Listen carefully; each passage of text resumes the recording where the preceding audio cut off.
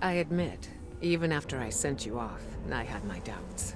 But Eris reports the Pyramid responded to your presence. A sign that we're headed in the right direction, I think.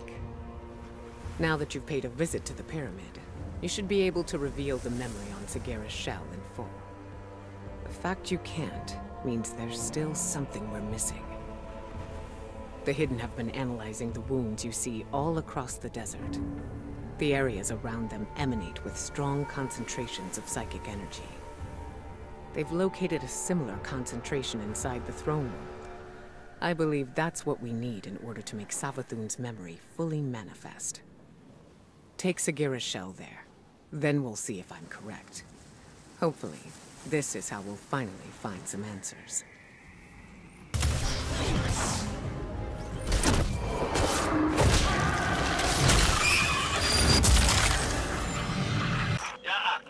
No, no, no. That place is nothing but dead hive who spent their whole lives causing pain. Yeah, monsters for the monsters. You've never told us to stay away from trouble, Fynch. What's really going on down here?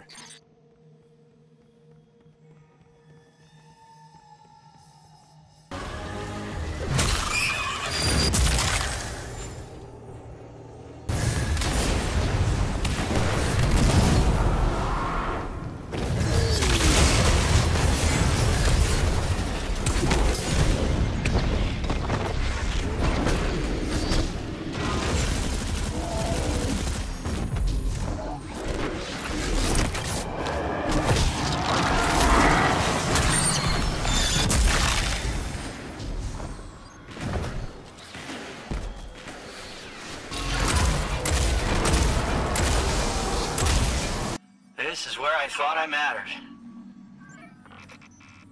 I was cruel when we met, Fynch.